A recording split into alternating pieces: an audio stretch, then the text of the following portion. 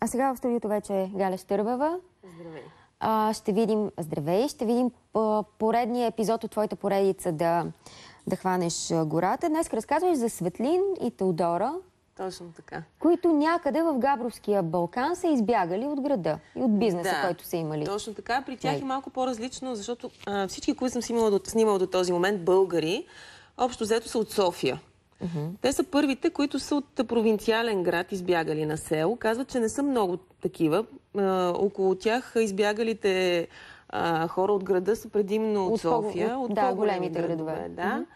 И са също така от хората, които малко или много разбиват нали, идиличната представа за живот на село, защото им е било много трудно. Започнали са от нулата с банкови кредити, които в началото банките не са искали да им дават Да. заем, защото Не е било къщата... популярно да се купуват селски къщи тогава, Точно още така. когато те са започнали. Още повече тази хубава картинка, която виждаме отзад, не е изглеждала по този начин, когато са купували къщата, да има снимки, които показват, показват и било, било нещо страшно наистина. Обрасло, стара къща порутане, от която правят чудеса. Сега докъде се стигна? И сега са стигнали до нещо много красиво, приятно, ам, автентично и така са доволни, въпреки м, труда и проблемите, които са имали по пътя, защото това, което правят, им носи истинско удоволствие. Занимават се основно с коне, обучават дечица, възрастни, всякакви хора, къща за гости и така нататък. Селски туризъм, който е преминал наистина през много трудни моменти, особено по време на финансовата криза, но сега казват, че от 2-3 години нещата са добре. И децата им са родени И там, нали децата им така? са родени, Да. две момченца.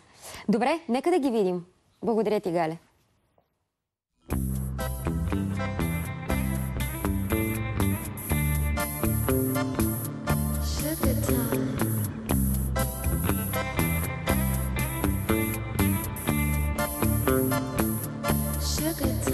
Как намерихте къщата? Случайно стана, просто търсехме къща, като обикаляхме из селата, вида и беше такъв, че подсказва се, че е необитаема.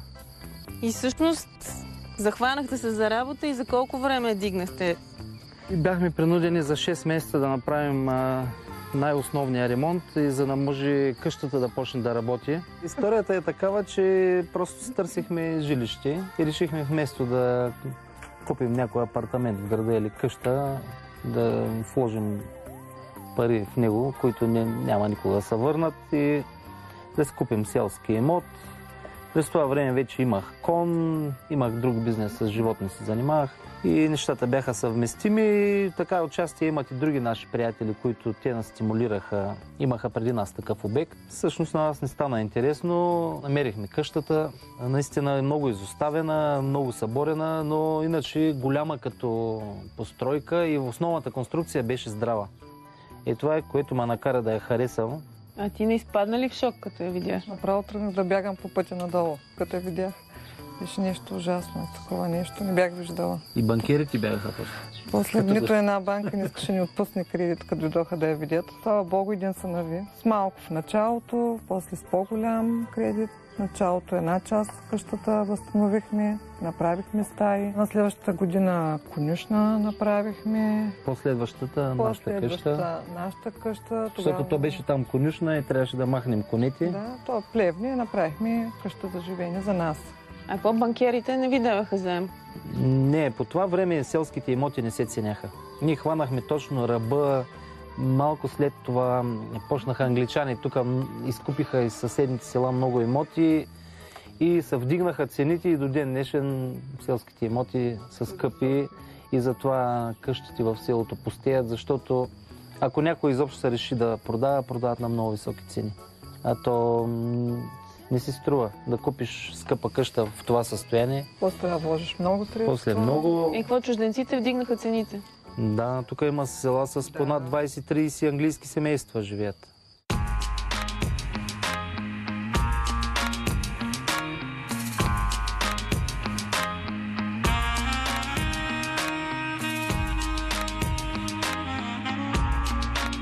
Първия кредит а, с много повече наш труд успяхме да реставрираме тази къща да направим.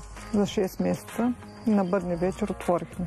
И след като успяхме да покажем някакви обороти на банката, кандидатствахме за втори кредит на Още малко направихме конюшната и след това на третия етап направихме отделна къща за нас, а, ние да си живеем. Вие опровергавате много твърдения на хора, които съм срещал, които казват, абе, може да почнеш бизнес на село, ама трябва да имаш пари.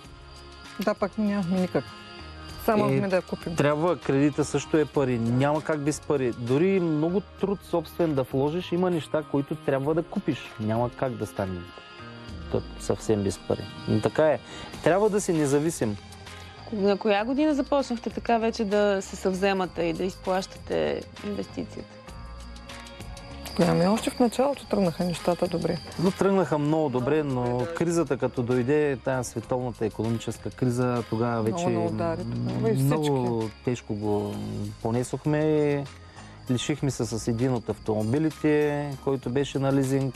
Налагаше се зимата да се продават обучени коне, имущество, седла, когато няма работа, банките дигнаха вноските и до ден днешен не ги свалят. Това нещо няколко години много навърна назад, иначе бяхме тръгнали много силно.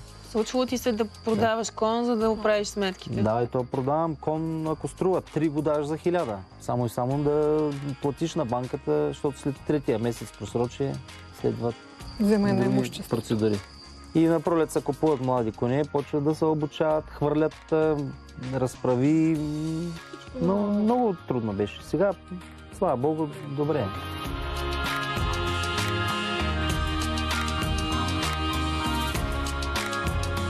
Този кон е млад. Сега за първи път му се слага седло на гърба. Трябва да свикне с него. Голямо удовлетворение от това изпитвам, когато някой го науча да яздя, както децата, които идват да яздят при нас. И не само децата, и възрастни хора, които никога не са предполагали, че може да се качат на кон.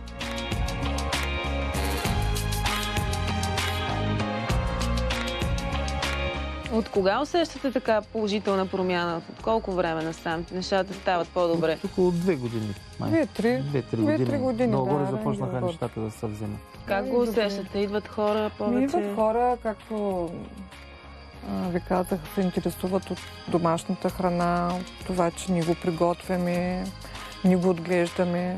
Всяко едно нещо. Всичко сме постигнали с двете си ръце, двамата. Тук е във вощната градина. Череша, сливи. Ракия правиш ли си? Да. Какво отглеждаш тук, освен домати? краставици, люти чушки, лук, чесън, грах, зелен боб. Почвите тук са бедни, но аз наторявам само с конския тор.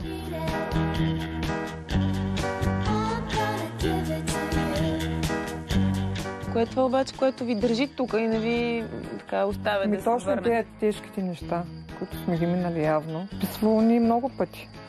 С всичко. Но после като видиш всичко как се постигнало и с колко труд и лишения и две деца са родили тук. Тази природа просто, тая тишина и чистия въздух е незаменима. И сега дори се чуват само птичките как пеят и никакъв друг шум. Да. Просто е И чудесно. Началото беше ли им странно на хората около вас, че купувате някаква съборетина на село и влагат На всичко? всички. На родители, на приятели. Казаха, че сме луди, не сме добри. Къде отиваме на толкова далеч. Но Вие ето, какво че... им казвахте? Нищо. Работихме си, нищо не казвахме. То после резултата се вижда. Аз съм се занимавал преди това с заведения, съм правил такива неща. Долу-горе имах някакъв опит. Също така сме имали наблюдения, като сме ходили по По такива места. По курорти, където къщи, хотели. Този стил. Виждаш как е направено, виждаш какво, какво ти харесва, какво не ти харесва. Беше ли ти по-различен стреса, когато се занимаваш с заведения? Да, моят бизнес беше така натоварващ и имаше голяма доза стрес, нощни заведения, там клиентите са по-друг тип. Да, при мен се усети разлика тук на спокойствието.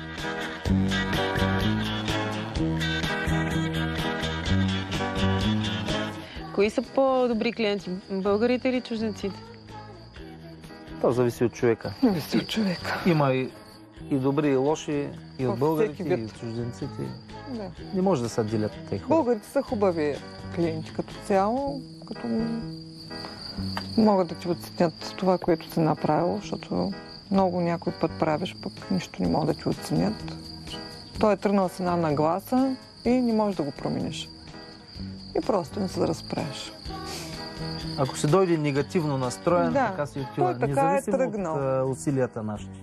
Домашна храна мама му приготвя, всичко, алкохол домашен, вино, ракия, всичко се произвеждаме.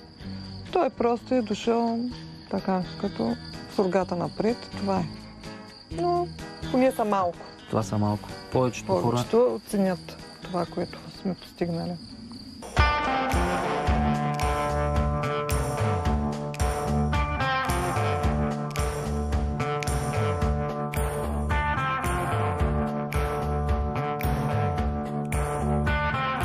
Почнаха хората да се ориентират към здравословното хранене и храната приготвени в домашни условия. Тоест да се отглеждаш тук нещата, ти да го приготвиш на клиента, Какви животни си гледате? Зайци, за сега.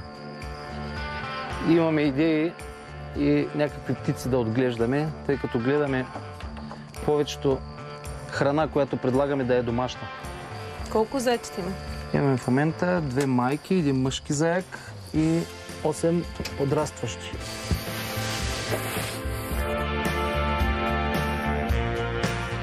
Как си обяснявате тази тенденция все повече хора да се връщат към селото? Аз не знам дали има много такива. Обаче. Да, и аз си Нямам такива наблюдения. Много, много отиват, но бързо избягват, като се върнат. специално тук от а, нас не, малките градове, провинциалните, никой не отива Не на село да живее. защото сблъскваш с Много много малко проблеми. са. Много малко са такива хора. Е така селата пустеят. Началото не беше странно, от тишината не Можехме да спим. Ужас. Много интересно. Почва да ти пищят ушите. Докато Да. свикнеш с тишината. Толкова пасе не можем да спим вече на шуми.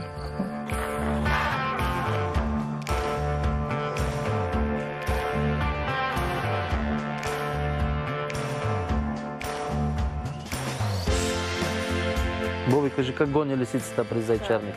С една пръчка да я би. Да, животните се разкарват из двора. Птици, змии, Всичко има. всичко. Лисици, чакали. Сърнички, много. Сърни. Зимата много сърнички. Като тръгнем за училище, сърничките не изпращат. За гъби ходят. Ха. За гъби познава. Гъбите много малък беше, всичките гъби ги познава. През кризата огромни трудности, но живяхме с надеждата, че някой ден ще свърши. То не може да е все така. Да, защо не се предаваш? Защото е интересно. Може да е трудно, но самия бизнес е интересен. Нестандартно е. Посрещаш гости, срещаш се с всякакви хора, извършваш обучение, накрая виждаш децата доволни. Има деца, които плачат, като се тръгват от тук. Те сега повечето деца градските бъркат от овца и крава, така че... Те много неща бъркат, особено които не са свикнали да, хран... да я се хранят с домашна храна. И тук като дойдат, като им приготвят супи или готвени първите дни направо гледат и така храната и не знаят какво да я правят.